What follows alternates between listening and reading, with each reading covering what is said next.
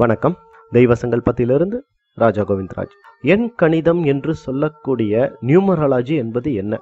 இதனுடைய அம்சம் என்ன? இதை எப்படி துவங்குறது?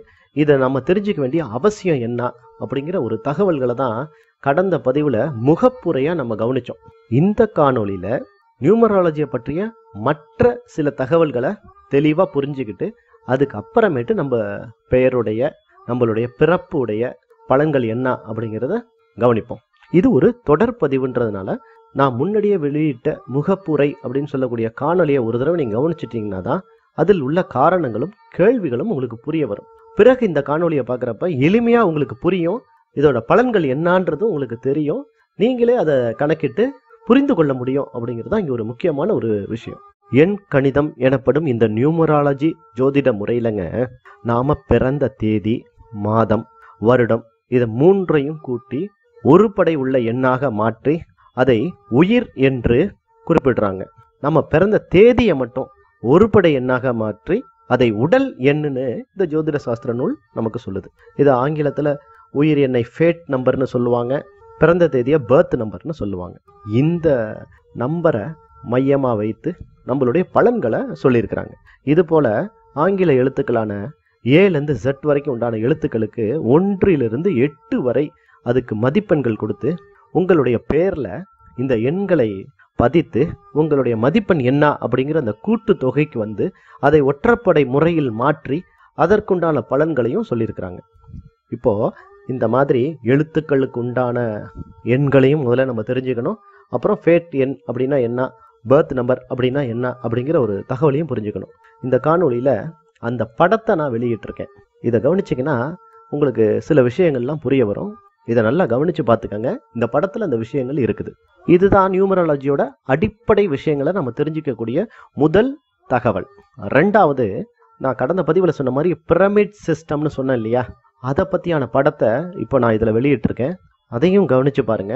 ஒரு நபர் ஒரு காரியத்தை செய்யறதுக்கு முன்னாடி இல்லை செய்து விட்டாலோ அவங்க அதனுடைய பலன் என்ன? அதிலிருந்து நமக்கு என்ன கிடைக்க போகுது அப்படிங்கிற ஒரு கேள்வியை எழுப்பினால் இந்த பிரமிட் சிஸ்டமானது மிக பயனுள்ளதாக இருக்குங்க.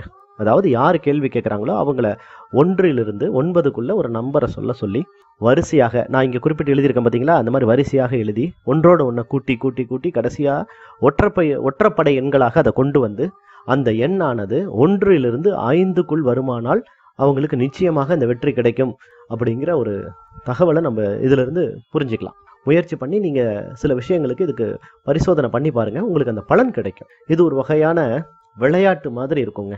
ஆனால் உண்மைகள் இதில் நிறைவாக கிடைக்கும். இதை பல வகையில் நான் பரிசோதனை செய்துட்டு தான் இன்னைக்கு என்னுடைய காணொலியில் தைரியமாக வெளியிடுறேன்.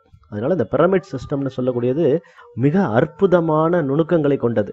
கவனித்து இந்த படத்தை கவனித்து அதுபோல் நீங்கள் அதை கூட்டி ஒற்றைப்படைகளாக மாற்றி அதில் வரும் விடைகளை வைத்து ரிசல்ட்டு மார்க் ஷீட்டு வேலை வாய்ப்பு எல்லாத்தையும் கண்டுபிடிச்சிட முடியுங்க. இது முயற்சி பண்ணி செய்து பாருங்க. ரெண்டாவது நியூமராலஜி கற்றுக்கிட்டவங்க முதல் முதல்ல ஒருத்தவங்கள்ட்ட போய் கேட்குறப்ப அவங்க எ- எந்த காலகட்டத்தில் முதல் மாற்றத்தை அவங்க அடைந்திருப்பாங்க அப்படிங்கிற ஒரு கேள்வி வரும். அப்போ அவங்கள்ட்ட அந்த வருடத்தை குறிப்பிட்டு சொல்லணுங்க. இங்கே இந்த ஜோதிடத்தில் ஒருத்தர் இந்த தேதியில் பிறந்திருக்காரு இந்த மாதத்தை இந்த வருஷத்தை அப்படின்னு அவங்க குறிப்பிட்டு சொல்கிறப்ப அந்த வரு வருடத்தை மட்டும் பிரித்து எடுத்து அந்த வருடத்தை கூட்டி அதிலிருந்து வரக்கூடிய தொகையை அவங்க பிறந்த தேதியோட கூட்டி அது எந்த வருடத்தை காமிக்குதோ அந்த வருடத்தில் இவங்க வாழ்க்கையில் முக்கியமான நிகழ்வுகள் நடந்திருக்கு. இதை மறக்கவே முடியாதுன்ற விஷயத்த நீங்கள் தைரியமாக சொல்லலாம். இது பர்த் இயர் சிஸ்டம் அதாவது உங்களுடைய பிறந்த வருடத்துக்கு உண்டான பலன்களை துல்லியமாக எடுத்து சொல்லக்கூடியது. அதுதான் வயதும் கூட. இப்போ இருபது வந்ததுன்னு சொன்னால் இருபது வயசில் உங்களுக்கு இந்த காலகட்டத்தில் உங்களுக்கு சிறப்பான ஒரு விஷயம் நடந்திருக்குன்னு சொல்லலாம். இல்லை மறக்க முடியாத விஷயங்கள் நடந்திருக்குன்னு சொல்லலாம். அப்போ அந்த இருபதை கூட்டி அடுத்து வரக்கூடிய அந்த காலகட்டம். இந்த படத்தில் தெரிவிச்சிருக்கேன். நான் ஒரு படம் வெளியிட்டிருக்கேன் இல்லையா? அந்த படத்தில் அது இருக்குது அப்போ அடுத்து வரக்கூடிய காலகட்டத்தில் பார்த்தீங்கன்னா மறுபடியும் ஒரு இருபத்தி மூணு வருதுன்னா அப்போ நாற்பத்தி மூணாவது வயதில் உங்கள் வாழ்க்கை பூர்த்தியாக இருக்கும். இந்த காலகட்டத்தில் நிறைவான ஒரு வாழ்க்கை வாழ்வீங்கன்னு சொல்லலாம். அதே மாதிரி மறக்க முடியாத நிகழ்வுகள் முக்கியமான விஷயங்கள் அந்த காலகட்டத்தில் உங்களுக்கு ஏற்பட்டிருக்கு அப்படிங்கிற விஷயத்தை நீங்கள் தைரியமாக சொல்லலாம். இதுதான் அடுத்த ரகசியமான ஒரு விஷயம். இப்படி இந்த எண் கணித முறையில் உடல் எண் உயிர் எண் பிரமிட் சிஸ்டம்னு சொல்லக்கூடிய விஷயம் அப்புறம் பர்த் டேட்டை வச்சு அவங்க வாழ்க்கையில் நடக்கக்கூடிய முக்கியமான விஷயங்களை கண்டுபிடிக்கிற விஷயம். இந்த விஷயங்களை நீங்கள் அடிப்படையாக நீங்கள் தெரிஞ்சுக்கிட்டீங்கன்னா தான் இதன் பின் வரக்கூடிய தனித்தனியாக பிறந்த நபர்களின் அவங்களுடைய குணாதிசயங்களும் பலன்களும் எந்த மாதிரி வாழ்க்கையில் அவங்க முன்னேறத்துக்கு எந்த மாதிரியான எண்களை பயன்படுத்தணும் அப்படிங்கிற தகவல்களும் புரிய வரும்.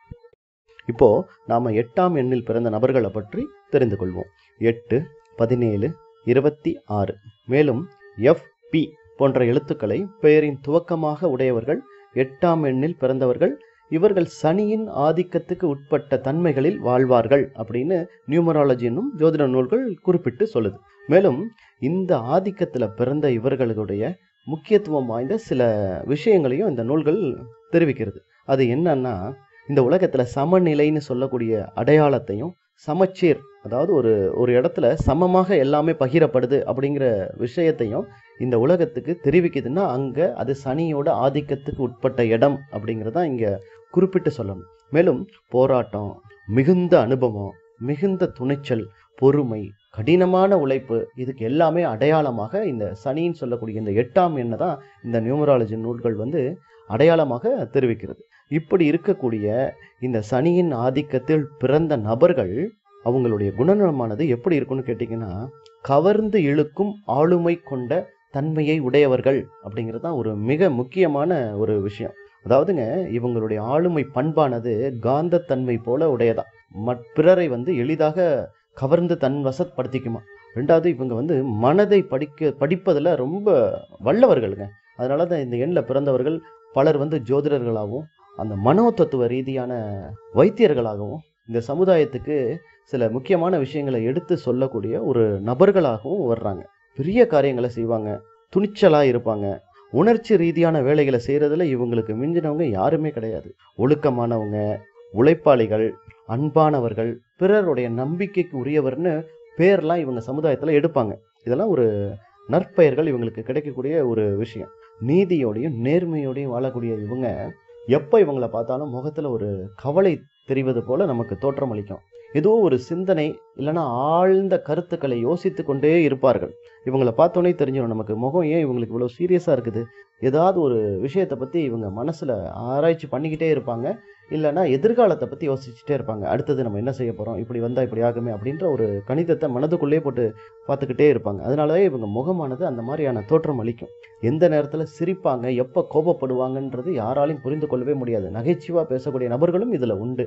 நிறைய காவியங்கள் கதைகள்லாம் எழுதக்கூடிய நபர்கள்லாம் இவங்க தான் பிரதானமான விஷயமானது கடமைன்னு எப்பயுமே இவங்க கடமை உணர்ச்சியோடு இருக்கிறதுனால இவங்களுடைய உடலை பற்றி இவங்க கவலையே பட மாட்டாங்க. ஆனால் இது மனம் சார்ந்தும் இது வேலை செய்கிறப்ப இவங்களுடைய வயிற்றை இது கெடுத்து விடுங்க இது மலக்குடல் சிறுகுடல் பிரச்சனையெல்லாம் இவங்களுக்கு இள வயதிலேயே வந்துடுது நிறைய பேர் நான் கவனிச்சப்ப வயிறுக்கு ரொம்ப அவஸ்தைப்படுறவங்க இருக்காங்க. அலர்ஜி ஆயிடுச்சு எதை சாப்பிட்டாலும் ஒத்துக்க மாட்டேங்குதுன்னு சொல்கிறவங்க இருக்காங்க. அதே மாதிரி சிலருக்கு பார்த்தீங்கன்னா இடைவிடாத சளி தொல்லைகளும் இருக்குது. ரொம்ப கஷ்டப்படுறாங்க. சளி பிடிச்சிருக்கு இதுக்கு என்ன பண்ணுறதுன்னு தெரியலன்னு வாழ்நாள் முழுக்க அதுக்கு மருந்துகள் எடுத்துக்கிறாங்க. முடிந்த வரைக்கும் இவங்க சித்தம் அப்படின்னு சொல்கிறோம்ல சித்த வைத்தியம்னு சொல்கிறோம் இல்லையா? அந்த மாதிரியான மருந்துகள் எடுத்துக்கிறப்ப இவங்களுக்கு மிக சிறந்த பலன்களை பெறுவதை நான் காண்கிறேன். அதனால் சித்த வைத்தியத்தில் மூலியமாக இவங்களுடைய வியாதிகளை இவங்க சரி பண்ணுறதுக்கு முயற்சி பண்ணால் அது நிச்சயமாக இவங்களுக்கு நன்மையாக நடக்கிறதுன்றது ஒரு முக்கியமான ஒரு விஷயம். மேலும் இவங்களோட உணவு பழக்கத்தில் நிறையா எலும்புச்ச பழம் சார்ந்த உணவுகளை இல்லைனா எலும்புச்ச பழத்தையே ஜூஸ் போட்டு அடிக்கடி குடிக்கிறது எலும்புச்ச பழம் சாதம் சாப்பிட்றது நிறைய பழங்கள் சாப்பிட்றது இதெல்லாம் இவங்களுடைய வயிற்றை பலம்படுத்துது கொஞ்சம் அலர்ஜி உடம்புல இருக்கக்கூடிய அலர்ஜி அதாவது சளி தொல்லைகள்னு சொல்கிறோம் இல்லையா? அதெல்லாம் இவங்க உடம்புலேருந்து அது விளக்குறதுக்கு உதவியாக இருக்குது. ரொம்ப கவனித்து இவங்க உணவு பழக்கத்தில் ரொம்ப முக்கியத்துவம் கொடுக்கணும் அப்படிங்கிறத இந்த காணொலியில் நான் சொல்லக்கூடிய ஒரு விஷயம். இந்த நாலு அஞ்சு ஆறு ஏழு போன்ற எண்களில் பிறந்தவங்க இவங்களுக்கு சிறந்த நண்பர்களாக வருவாங்க. வாழ்க்கை துணைஞ்ச துணைவியாக இல்லை துணைவராக அமைஞ்சிட்டா இவங்களுக்கு ஒரு சிறப்பான வாழ்க்கை ஏற்படுங்க. குழந்தைங்க இதில் பிறந்தாலும் இவங்க வாழ்க்கையில் வந்து நல்ல மேன்மைகள் கிடைக்கும். ஒன்று இரண்டு ஒன்பது போன்ற தேதிகளில் பிறந்த நபர்கள்ட்ட இவங்க கொஞ்சம் கவனமாக இருந்துட்டு நட்பாய்க்கணும் அவ்வளோதான் அதாவது விளக்கணுன்றது கிடையாது. கவனமாக அவங்க கூட பழகணும் அப்படிங்கிறதான் இவங்க இவங்களுக்கு சொல்லக்கூடிய ஒரு முக்கியமான ஒரு விஷயம். இப்படி சமுதாயத்தில் மிகப்பெரிய செயல்களை செய்யக்கூடிய இவர்கள் சில நேரங்களில் தடுமாறி போகிறார்கள். அப்போது இவங்களுக்கு அந்த தடுமாற்றம் வராமல் இருக்கிறதுக்காகவும் இவங்களுடைய தனிமையிலிருந்து இவங்களை வெளியில் கொண்டு வர்றதுக்காகவும் இவங்க வழிபாடுகள் செய்யக்கூடிய தெய்வமானது பைரவர்னு சொல்லுவோம் இல்லையா? அந்த தெய்வ வழிபாடுகளை இவங்க மேற்கொள்ளணுங்க.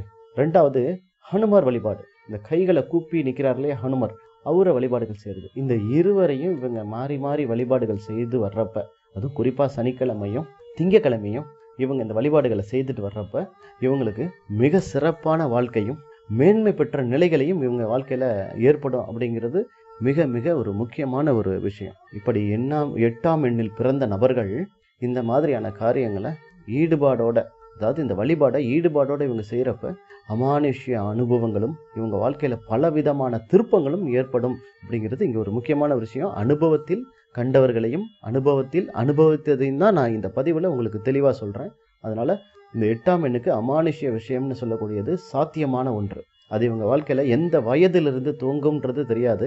ஆனால் கண்டிப்பாக இவங்க வாழ்க்கையில் இந்த அமானுஷ்யம்னு சொல்லக்கூடிய தெய்வீக தன்மையுடைய விஷயங்களானது உள்ளே புகுந்து இவங்க வாழ்க்கையவே மாற்றி இவங்களை ஒரு நல்ல வில நிலைக்கு கொண்டு போகுன்றது மட்டும் இந்த காணொலியில் நான் உறுதியாக சொல்ல முடியும். அதனால் இவங்க ஹனுமார் வழிபாடு பைரவ வழிபாடு போன்ற தெய்வங்களை வழிபாடுகள் செய்து வெற்றி பெற்று வாழ்வார்கள் அப்படிங்கிறது நிச்சயம். நன்றி. சிவாய நமன்